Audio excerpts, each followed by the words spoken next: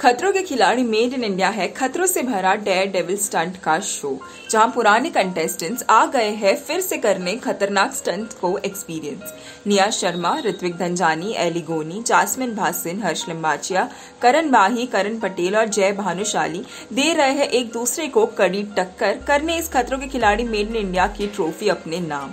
इसी के साथ खतरों से लड़ते वक्त हो गया है एक खिलाड़ी इंजर्ड जो कोई और नहीं है जय भानुशाली।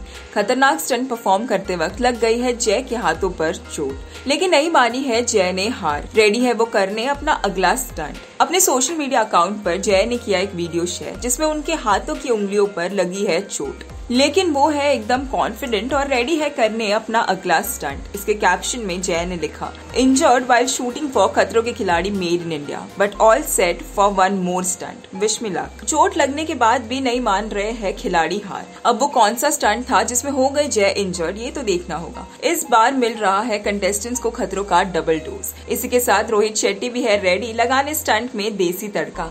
आशा करते हैं कि जय की चोट जल्द ही ठीक हो जाए. आपको कैसे लग रहे हैं खतरों के खिलाड़ी के एपिसोड्स हमें लाइक और कमेंट कर ज़रूर बताएँ। टेलीविज़न की लेटेस्ट न्यूज़ और गॉसिप के लिए हमारे चैनल को सब्सक्राइब ज़रूर करें।